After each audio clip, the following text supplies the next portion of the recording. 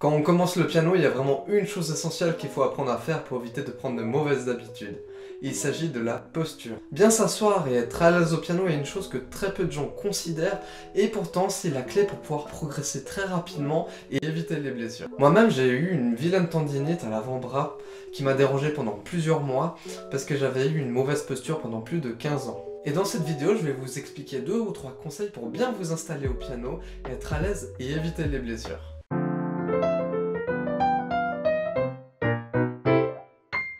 La première chose quand on s'installe au piano, c'est régler la hauteur du siège. Si vous êtes trop haut, vous n'aurez pas un bon équilibre.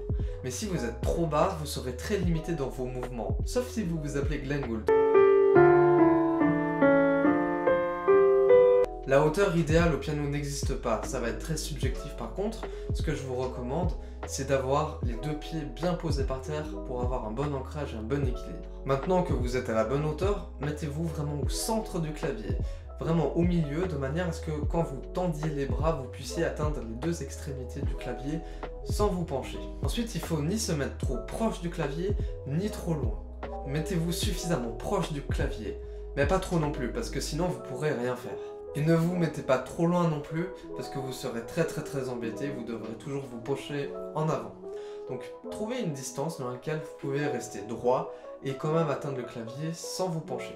Voilà, maintenant vous êtes bien installé, bien assis au clavier, on va parler maintenant de comment placer ses mains et placer ses doigts.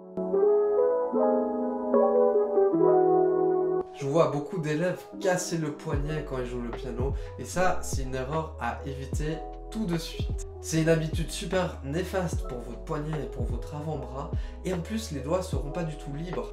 Le poignet doit être au minimum à la hauteur des touches sans jamais descendre plus bas et les doigts doivent être toujours recourbés. Pensez à jouer avec le bout de vos doigts et non pas avec le plat de vos doigts. Vous aurez beaucoup plus de précision, beaucoup plus de force d'attaque en jouant avec le bout des doigts plutôt qu'avec le plat. Avec le plat, vous aurez vraiment pas beaucoup de contrôle et beaucoup moins de fluidité. Donc n'essayez surtout pas de jouer comme Horowitz, du moins pas pour l'instant.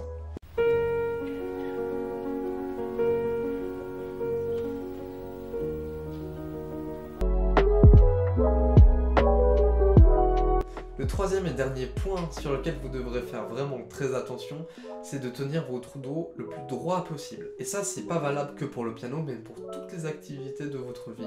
Vous me remercierez plus tard. Pensez à garder votre dos le plus droit possible tout le temps quand vous jouez.